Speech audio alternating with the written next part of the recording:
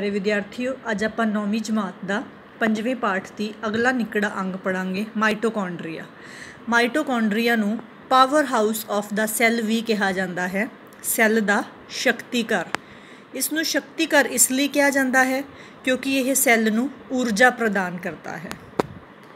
Mitochondria ਦੇ ਅੰਦਰ ਊਰਜਾ ਨਾਲ ਭਰੇ ਹੋਏ ਅਣੂ ਬਣਦੇ ਹਨ, ਜਿਨ੍ਹਾਂ ਨੂੰ ATP ਕਿਹਾ ਜਾਂਦਾ ਹੈ ਮਾਈਟੋਕੌਂਡਰੀਆ ਏਟੀਪੀ ਦੇ ਰੂਪ ਵਿੱਚ ਊਰਜਾ ਦਾ ਪ੍ਰਦਾਨ ਕਰਦਾ ਹੈ।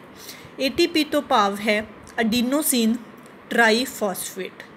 ਇਸ ਦੇ ਵਿੱਚ ਅਡੀਨੋਸਿਨ ਨਾਮ ਦੇ ਇੱਕ ਅਣੂ ਦੇ ਨਾਲ ਤਿੰਨ ਅਣੂ ਫਾਸਫੋਰਸ ਦੇ ਜੁੜੇ ਹੋਏ ਹੁੰਦੇ ਹਨ। ਜਦੋਂ ਪਹਿਲਾ ਅਣੂ ਜੁੜਦਾ ਹੈ, ਤਾਂ એનર્ਜੀ ਦੀ ਖਪਤ ਹੁੰਦੀ ਹੈ। ਉਹ એનર્ਜੀ ਇਸ ਬੰਧਨ ਦੇ ਵਿੱਚ ਸਟੋਰ ਹੋ ਜਾਂਦੀ ਹੈ। ਫਿਰ ਇਸੇ ਤਰ੍ਹਾਂ ਹੀ ਦੂਜਾ ਫਾਸਫੋਰਸ ਦਾ ਅਣੂ ਜੁੜਦਾ ਹੈ, ਹੋਰ ਊਰਜਾ ਸਟੋਰ ਹੋ ਜਾਂਦੀ ਹੈ। ਇਸੇ ਤਰ੍ਹਾਂ ਹੀ ਤੀਜਾ ਅਣੂ ਫਾਸਫੋਰਸ ਦਾ ਜੁੜਦਾ ਹੈ, ਤਾਂ ਵਧੇਰੇ ਊਰਜਾ ਸਟੋਰ ਹੋ ਜਾਂਦੀ ਹੈ ਅਤੇ ਇਹ ਮੋਲੀਕਿਊਲ ਬਣਦਾ ਹੈ ਐਡੀਨੋਸਿਨ ਟ੍ਰਾਈਫਾਸਫੇਟ। ਤੋਂ ਇਸ ਦੇ ਰੂਪ ਵਿੱਚ ਸੈੱਲ ਊਰਜਾ ਬਣਾਉਂਦਾ ਹੈ। ਇਸ ਦੇ ਵਿੱਚ ਊਰਜਾ ਸਟੋਰ ਹੋ ਜਾਂਦੀ ਹੈ। ਜਦੋਂ ਸੈੱਲ ਨੂੰ ਊਰਜਾ ਦੀ ਲੋੜ ਹੁੰਦੀ ਹੈ, ਉਦੋਂ ਇਹ ਅਣੂ ਟੁੱਟ ਜਾਂਦਾ ਹੈ। ਭਾਵ ਸਭ ਤੋਂ ਪਹਿਲਾਂ ਪਹਿਲਾ ਫਾਸਫੇਟ ਅਲੱਗ ਹੋਏਗਾ, ਇੱਕ ਬੰਧਨ ਟੁੱਟੇਗਾ, ਤਾਂ ਬਹੁਤ ਸਾਰੀ ਊਰਜਾ ਨਿਕਲੇਗੀ। ਉਸ ਊਰਜਾ ਨੂੰ ਸੈੱਲ ਪਿੰਨ ਪਿੰਨ ਕਿਰਿਆਵਾਂ ਦੇ ਲਈ ਵਰਤ ਸਕਦਾ ਹੈ। ਉਸੇ ਤਰ੍ਹਾਂ ਹੀ ਫਿਰ ਦੂਜਾ ਬੰਧਨ ਟੁੱਟੇਗਾ, ਦੋ ਅਣੂ ਨਿਕਲ ਜਾਣਗੇ ਬਾਹਰ, ਹੋਰ ਊਰਜਾ ਪੈਦਾ ਹੋਵੇਗੀ ਅਤੇ ਇਸੇ ਤਰ੍ਹਾਂ ਹੀ ਤੀਜਾ ਅਣੂ ਵੀ ਫਾਸਫੋਰਸ ਦਾ ਨਿਕਲ ਸਕਦਾ ਹੈ ਅਤੇ ਵਧੇਰੇ ਊਰਜਾ ਪੈਦਾ ਕਰ ਸਕਦਾ ਹੈ। ਮਾਈਟੋਕੌਂਡਰੀਆ ਦੀ ਰਚਨਾ ਦੀ ਗੱਲ ਕਰੀਏ ਤਾਂ ਇਹ ਝਿੱਲੀਦਾਰ ਨਿਕੜਾ ਅੰਗ ਹੈ।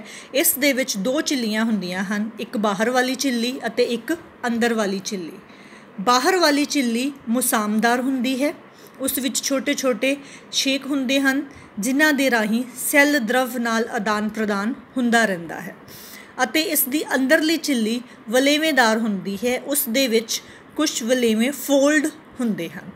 ਇਹ ਵਲੇਵੇਂ ਹੋਣ ਕਰਕੇ ਜਦੋਂ ਰਸਾਇਣਿਕ ਕਿਰਿਆਵਾਂ ਮਾਈਟੋਕੌਂਡਰੀਆ ਦੇ ਵਿੱਚ ਹੁੰਦੀਆਂ ਹਨ, ਤਾਂ ਇਹਨਾਂ ਵਲੇਵਿਆਂ ਕਰਕੇ ਵੱਧ ਸਤਾ ਪ੍ਰਦਾਨ ਹੁੰਦੀ ਹੈ।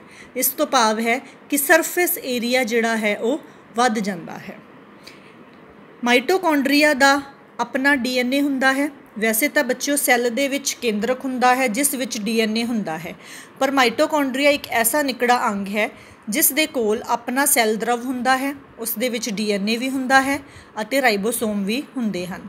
ਜਿਵੇਂ ਕਿ ਆਪਾਂ ਨੂੰ ਪਤਾ ਹੈ, ਰਾਈਬੋਸੋਮ ਪ੍ਰੋਟੀਨ ਸੰਸਲੇਸ਼ਨ ਦਾ ਕੰਮ ਕਰਦੇ ਹਨ, ਤਾਂ ਮਾਈਟੋਕੌਂਡਰੀਆ ਆਪਣੀ ਜ਼ਰੂਰਤ ਦੇ ਕੁਝ ਪ੍ਰੋਟੀਨ ਖੁਦ ਤਿਆਰ ਕਰ ਸਕਦਾ ਹੈ ਅਤੇ ਜੋ ਪ੍ਰੋਟੀਨ ਉਸ ਕੋਲ ਨਹੀਂ ਤਿਆਰ ਹੁੰਦੇ, ਉਹ ਸੈੱਲ ਦਰਵ ਰਾਹੀਂ ਸੈੱਲ ਦੇ ਵਿੱਚੋਂ ਲੈ ਲੈਂਦਾ ਹੈ।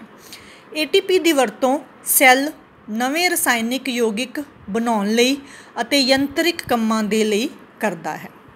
ਇਸ ਚਿੱਤਰ ਦੇ ਵਿੱਚ ਦੇਖੋ, ਦੋ ਝਿੱਲੀਆਂ ਨੇ, ਇਹ ਬਾਹਰ ਵਾਲੀ ਝਿੱਲੀ ਹੈ ਜੋ ਕਿ ਮਸਾਮਦਾਰ ਹੈ ਅਤੇ ਇਹ ਅੰਦਰ ਵਾਲੀ ਝਿੱਲੀ ਦੇ ਵਿੱਚ ਇਹ ਫੋਲਡ ਵਲੇਵੇਂ ਦਿਖਾਈ ਦੇ ਰਹੇ ਹਨ, ਜੋ ਕਿ ਰਸਾਇਣਿਕ ਕਿਰਿਆਵਾਂ ਨੂੰ ਕਰਨ ਦੇ ਲਈ ਵਧੇਰੇ ਸਤਾ ਪ੍ਰਦਾਨ ਕਰਦੇ ਹਨ। ਜਦੋਂ ਇਹ ਵਲੇਵੇਂ ਖੁੱਲ ਜਾਂਦੇ ਹਨ, ਤਾਂ ਇਹ ਝਿੱਲੀ ਵੱਧ ਜਾਂਦੀ ਹੈ ਅਤੇ ਸਰਫੇਸ ਏਰੀਆ ਵੱਧ ਜਾਂਦਾ ਹੈ।